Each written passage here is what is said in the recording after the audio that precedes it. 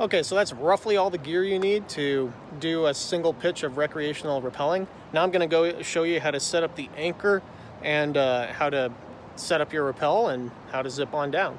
So first thing I'm gonna talk about is how to set up a rappel extension so that way we can be safe while we're out at our anchor rigging up our rappel.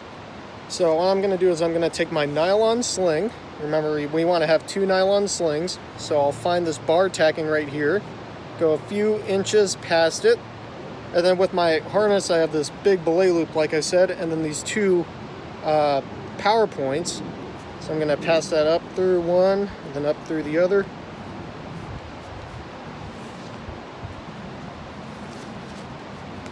And you see how I just put the big end through the small end. That's what we call a girth hitch. And now you can see my uh, bar tackings right here. I can just go up a little ways and tie an overhand knot. Here's one more time just for clarification. So I'm going to take this, make a loop, and pass this end through that loop. Now we have an overhand knot. The only thing to keep in mind with this overhand knot, it's dividing the sling into two loops, and we want the loop that's further away from us bigger than this loop right here. That's the only thing with the knot. I like having my knot about 9 inches from my harness personally. We take a locking carabiner and clip it to our loop, and then that's how we're going to connect ourselves to the anchor.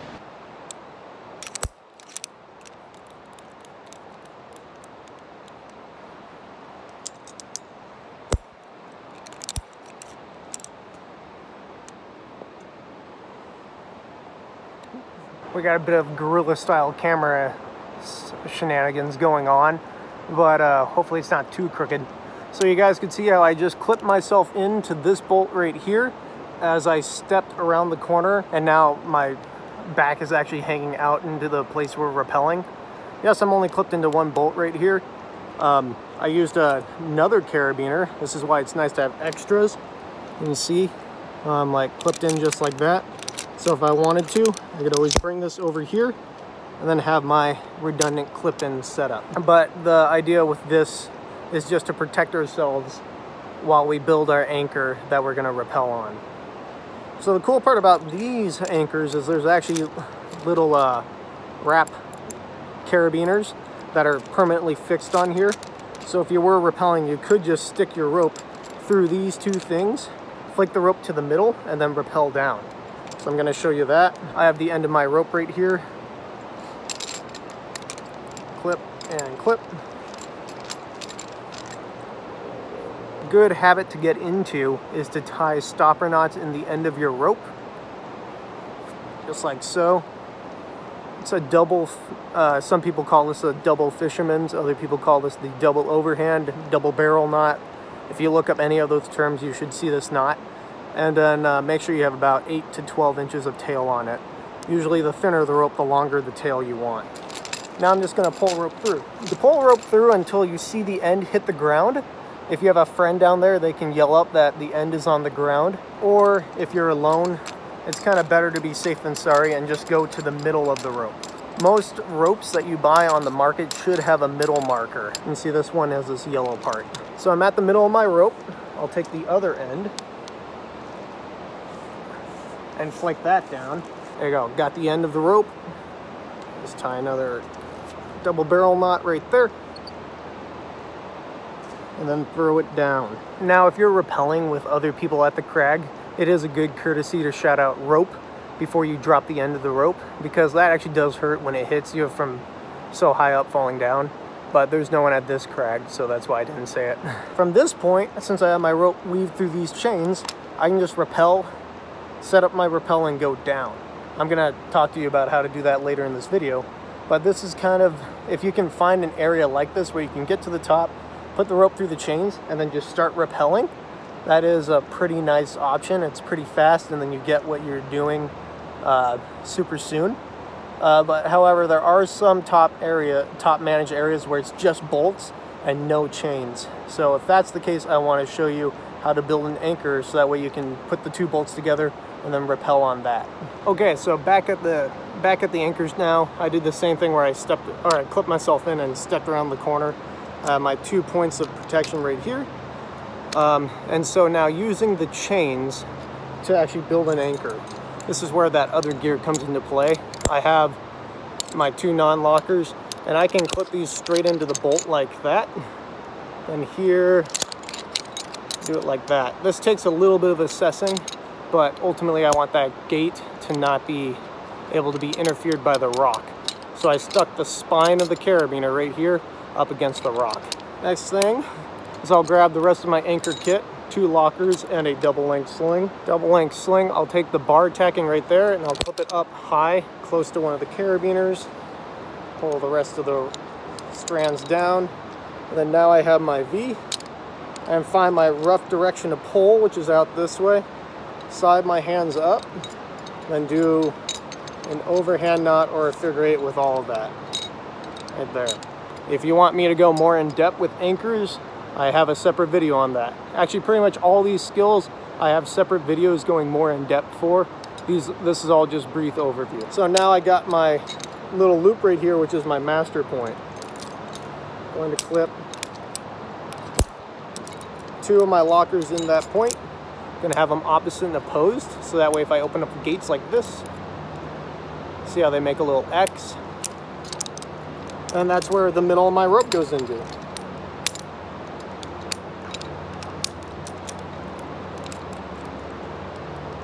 There you go, I just so happen to have the middle of my rope right there. You can see it. And then now I'm ready to push the rest of my rope off the cliff and then actually set myself up for rappelling. There we go, excuse the guerrilla style angling uh, of the camera. Again, I don't have a cameraman out here with me uh, like I never do in my videos. it's just I need to get more friends. And so I've done a few things to sort of change up my position. One is you can see I clipped my personal anchor into the master point of the original anchor. That's just, that's another way how you can clip into the, you can clip into the same point where the ropes are hanging. And then that can help you sort of like move a bit further out to set up your rappel easier. Uh, that's another great part about having two specific clip-in points because I could keep this clip to the anchor and then bump this one down to the master point and then unclip this from the anchor.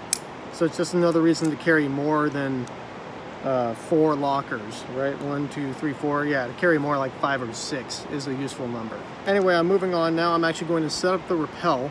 So I need my ATC. And a good habit to get into with this thing is always having it clipped to something because you don't want to accidentally drop it. Otherwise you're, you're walking back down. So what I did is I just clipped my ATC to my bottom loop right here. You can see how it stops at my knot. My knot is right here. And then this is the upper loop I was talking about. And notice how this loop is smaller than this one. That's another point of neatness. So now what I can do is load up my ATC like I normally would. You know, it can be a little bit hard with the weight of the rope underneath you. Make sure that's locked. All right, great. So I got my ATC loaded. I can even double check that both strands are going through the hole and then around the carabiner and the carabiner's locked. So a lot of people just start rappelling like this and it can be a little dangerous because you have nothing backing you up. Your, your friend was on the ground giving you a fireman's belay and that counts as a backup, you can rappel. But if you're doing this alone by yourself, you're gonna need another way to back up yourself on this rappel. And that's where the third hand comes in handy. All right, so I re-angled the camera here so you can see my belay loop. Uh, you'll notice how I have the extra bit of the sling right here. I ran out of lockers, so I just, I'm gonna use a non-locker to clip that to my belay loop to keep it out of the way. It's not doing anything like holding my weight or anything right now, so it's okay to have a non-locker. But that's just another reason to have more lockers with you. However, I do want my third hand on a locking carabiner because it's actually pretty critical. Here's my Sterling hollow block and I'm going to build a friction hitch on both of these strands of rope. Now, uh, the friction hitch of choice that many people, including myself, use for rappelling is called the auto block. And the way how I like to tie that is I start with one end through my locking carabiner, and then the other, you see this bar tacking right here, I slide that all the way to the end. And then I'm going to start close to me, and I'm going to give it one wrap, two wrap, and then a third wrap.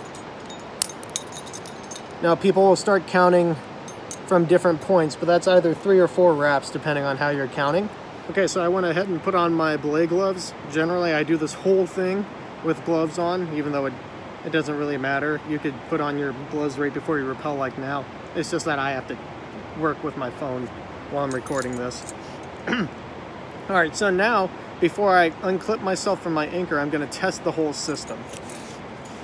So luckily I already had my ATC yanked up as far as it'll go. And so all I had to do was slide my hollow block up and then now slide it up a bit more. You can see how my tether here is loose. It's actually kind of hard to see if it's loose, but it is loose. Sometimes depending on your position, if you have a big ledge or not, uh, you have to lean up and pull on the anchor like I did to get that thing off. Other times you can just easily unclip it. All right, so now you can see I'm actually all on my rappel system. Here's my auto block right here holding pretty much all my weight and my ATC is ready to descend with. Here, if I just move down a bit, now you can see all the slack is out of the system and I'm ready to go. Okay, so here's just a different ankle so that way you can see what I was talking about. There's my anchor, two points equalized in a figure eight. And then I have my two lockers right here with the middle marker of the rope and my master point.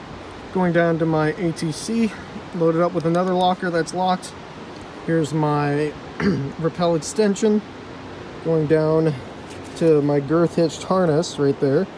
Here's the extra part of the extension, which is just, uh, I just clipped it off there to keep it out of my way.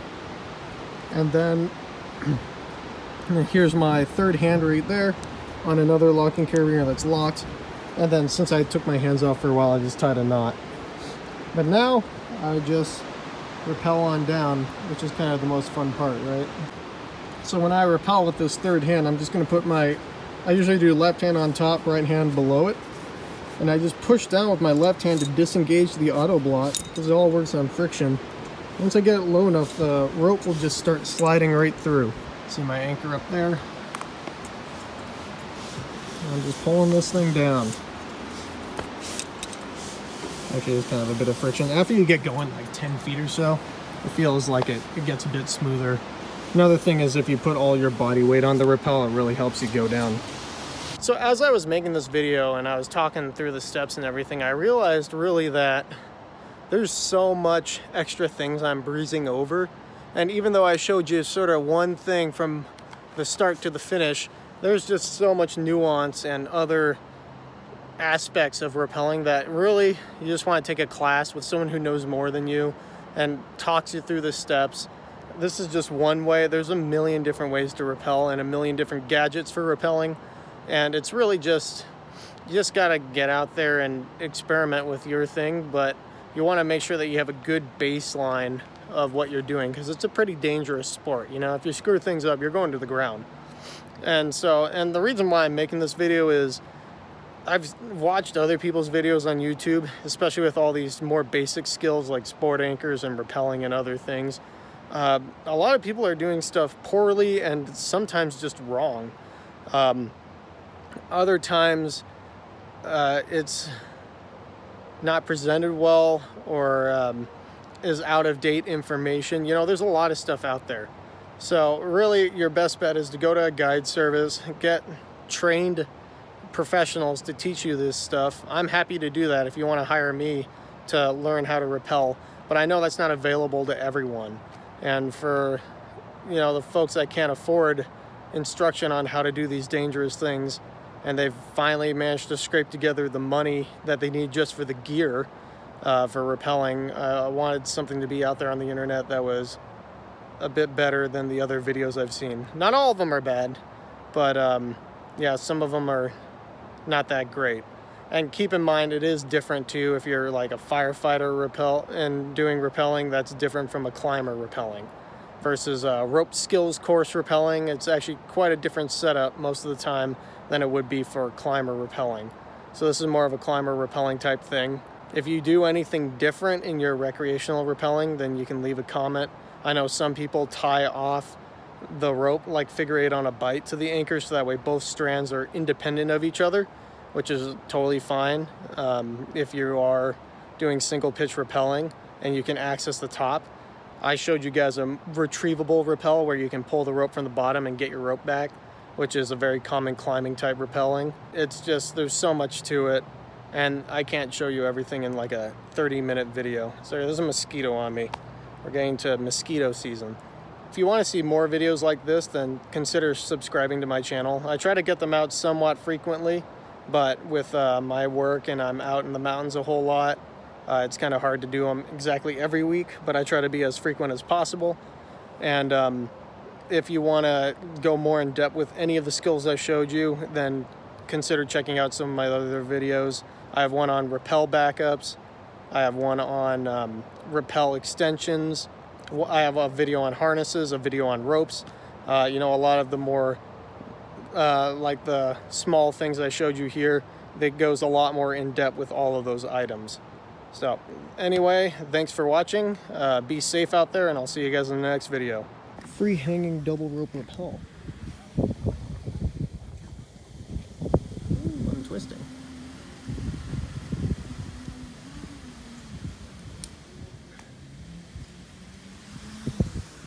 It's actually kind of hard to show in the video how big this rappel is. There's the tagline.